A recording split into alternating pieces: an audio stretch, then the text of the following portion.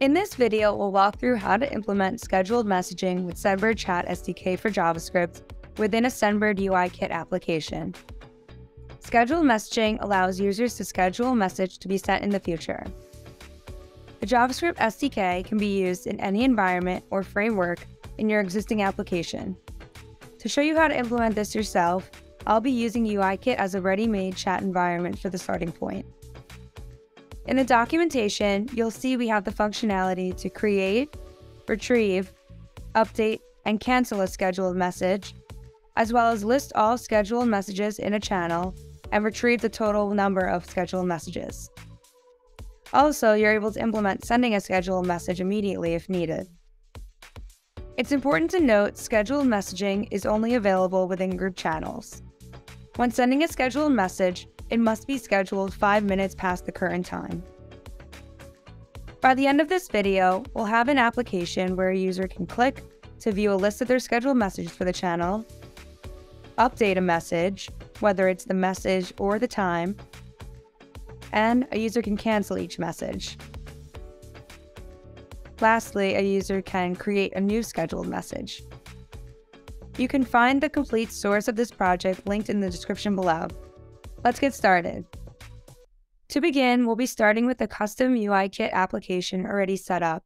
Please refer to creating a custom UI kit app video or the UI kit documentation to get to this point.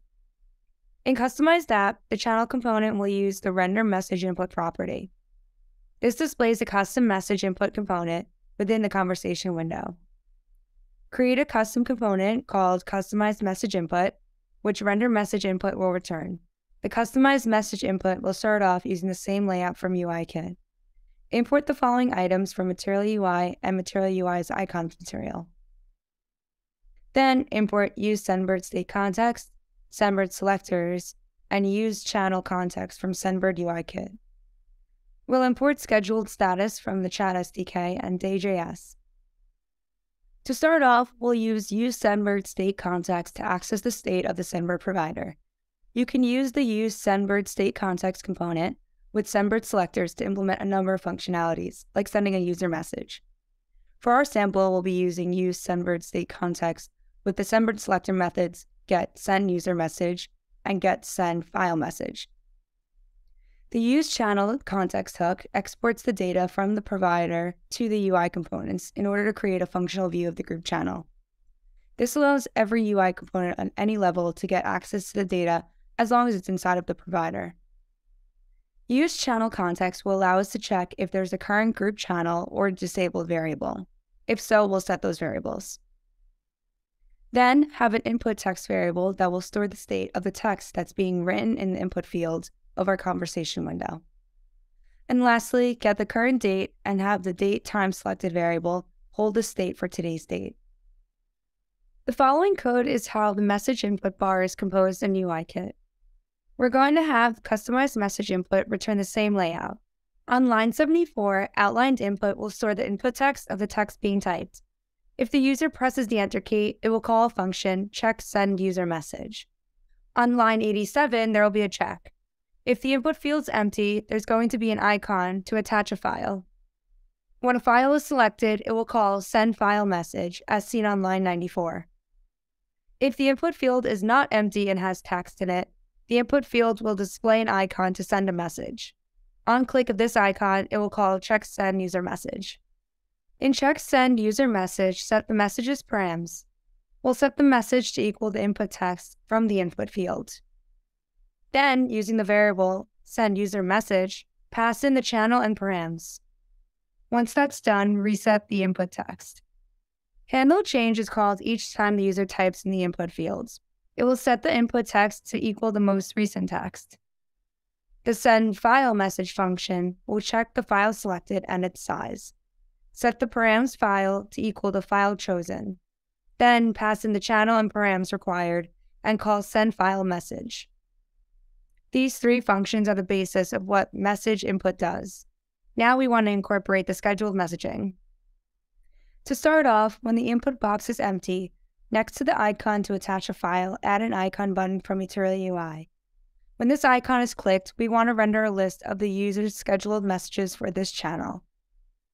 On click, we'll call a function load scheduled messages. Create a function load scheduled messages. Set the show schedule message list to true. This variable will keep track if the schedule message list is open or closed. Set the params with the channel URL and scheduled status. Scheduled status is set using scheduled status imported from the chat SDK. Since we only want to show a list with pending scheduled messages, we'll set the param scheduled status to be one with status of pending. Then use the chat SDK with the SB variable to call .create schedule message list query and pass in the params. Once that message list is returned, use set scheduled message list to store it in a variable called scheduled message list. Next, we want to keep track of the number of scheduled messages. To do so, set the params. So we'll set scheduled status with scheduled status from the SDK pending. Then call get total scheduled message count from the SDK and pass in the params. Once that number is retrieved, use set scheduled message count with the return of the total scheduled messages count. In the load scheduled messages function, set show scheduled message list was set to true. Now include a check in the return to see if show scheduled message list is true. If it is, then return a custom component called schedule message list. This will display the list of scheduled messages for this channel. Import and create schedule message list.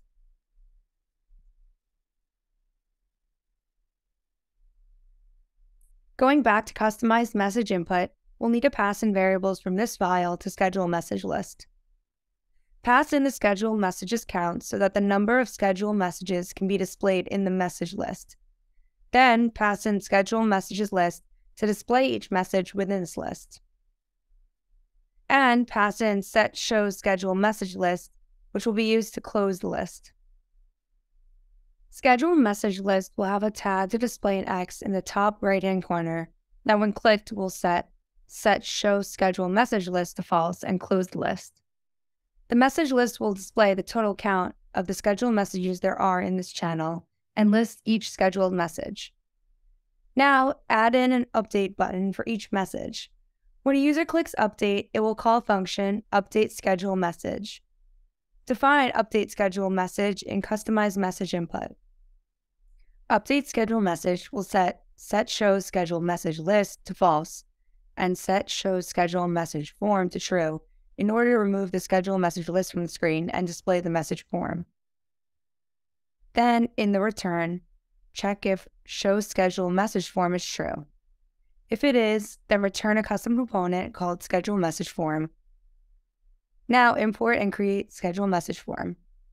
Pass in handle change, input text, set date time selected, schedule mm-hmm. message, and set show schedule message form. Now in schedule message form, import React use effect and calendar date picker, which will be a file that displays a calendar for us to select the date and time to schedule a message. The schedule message form will return a form. It contains a div to close the form, on click of it, it will set set show schedule message form to false. The form will contain an input field for a message and render a calendar date picker. Create a calendar date picker file. Import the following from React, Day.js, and Material UI.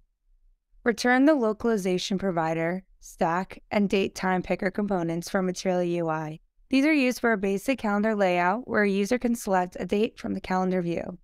Once the user selects a date, then a clock will appear to select the time.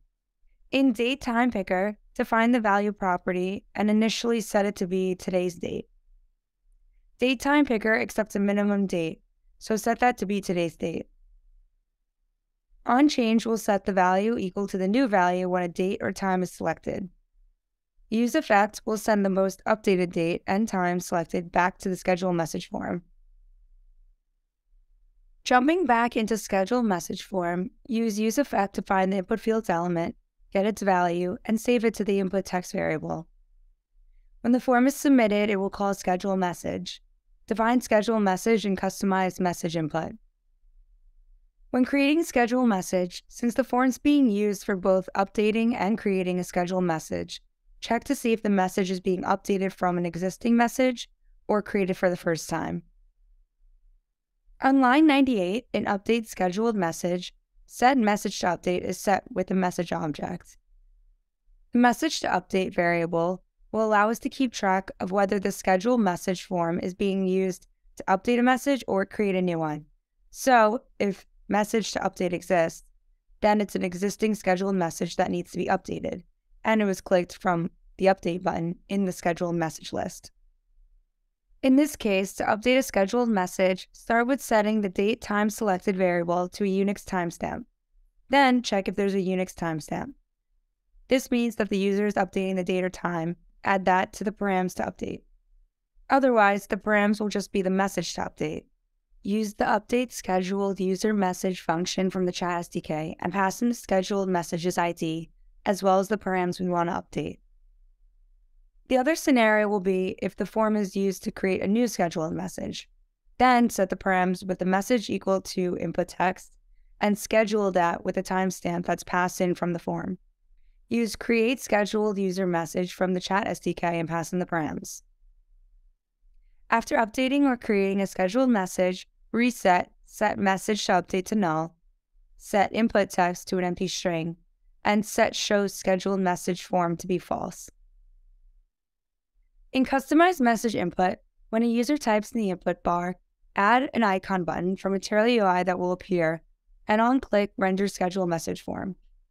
This button will allow users to schedule the message after writing the message in the input field.